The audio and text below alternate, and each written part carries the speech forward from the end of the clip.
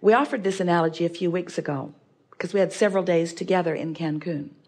And it erupted from a series of questions. And it is such a good analogy to help you to understand that you are offering these vibrations and that you are establishing without knowing it a vibrational platform or grid or point of attraction that is filling in. And that you have control over what fills in not once the momentum of it begins but before the momentum of it begins.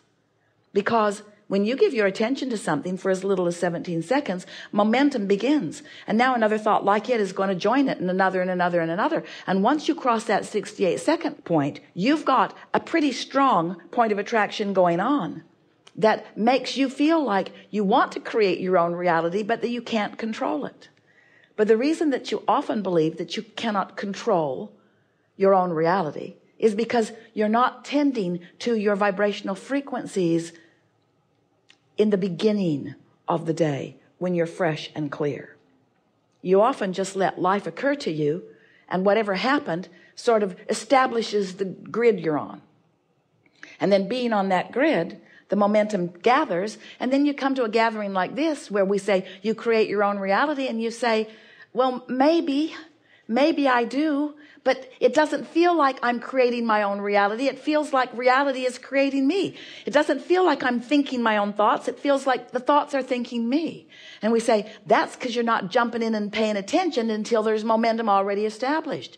You want to get out ahead of the manifestation. You want to get out ahead of the momentum. You want to choose the disc that you get on and practice staying there. When you find yourself flying high and feeling good milk it longer until you've established more of a pattern. And it is our promise to you.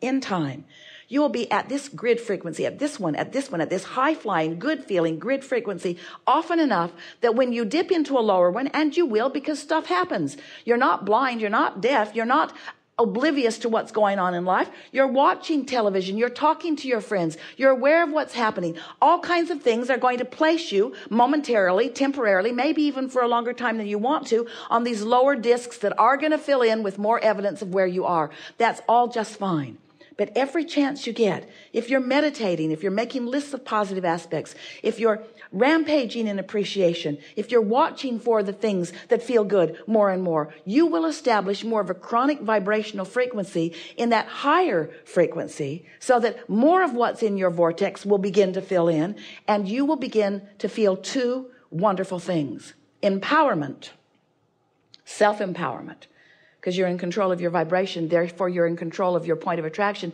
therefore you're in control of which disc you're on therefore you're in control of what jumps on with you. Empowerment and a feeling of worthiness. And we so want you to have those experiences those emotions that go so tightly together because you tend to not tend to your frequency and then stuff happens that you don't like and then you make such a wrong assumption that someone has deemed you inappropriate and now is giving you stuff you don't want as punishment for your inappropriateness. And there's nothing like that going on. It's that you've simply chosen a frequency that won't let on what you do want and does let on what you don't want. That's all.